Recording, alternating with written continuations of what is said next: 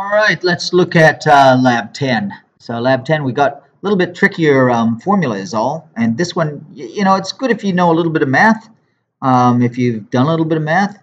And um, it's not really too hard. Uh, where, where this math is just adding and multiplying, really. Uh, so let's do some.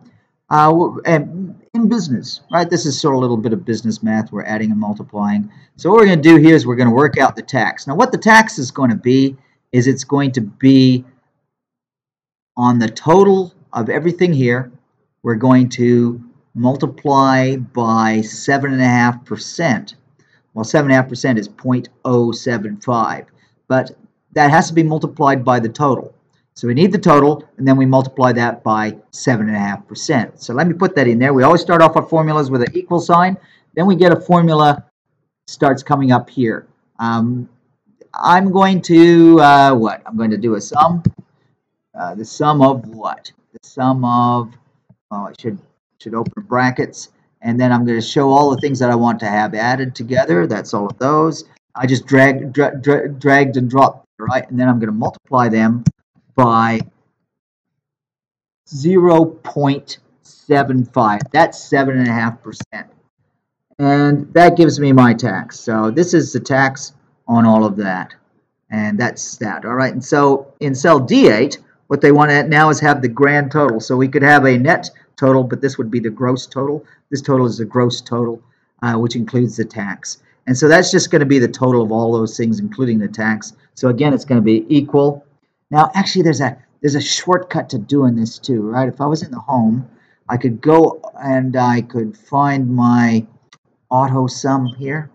Just yeah, and if I click on that, I have lots of little built-in um, functions there, and one of them is sum, and it sort of automatically does it for me. So how easy is that? So like I said in previous videos, there's usually two or three, four ways of doing everything. Um, we could have typed in the formula. You can see the formula here. I could have typed that in, or I could just, hey, take the shortcut. I like the shortcut, right? Now, after discount, what's the discount? The discount is going to be 10% of that. So this value here is going to be this value, this value here, where I'm pointing, is going to be equal to that value minus 10%. All right, so equal to that value minus 10%. Well, minus 10%. How do we do minus 10%? So I got the minus in there, right? So that would be, again, um, this value times 10%. 0.1. 0.1 is 10%.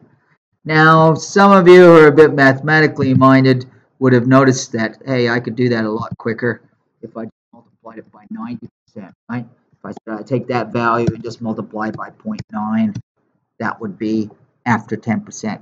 But maybe you like to leave some little some little um, sort of hints behind for the people who might be looking at your um, uh, at your uh, work to see how did you get that number, and so that's why we might put the full thing in there, which is basically saying take the number above, subtract from it the number above minus uh, times 10%.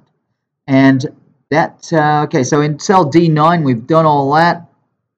Uh, check out our lesson on D. All right, I think we've done. Yeah, so uh, yeah, there we are, and looks just like that. So that's what we wanted to do, and we have done it. So that's good.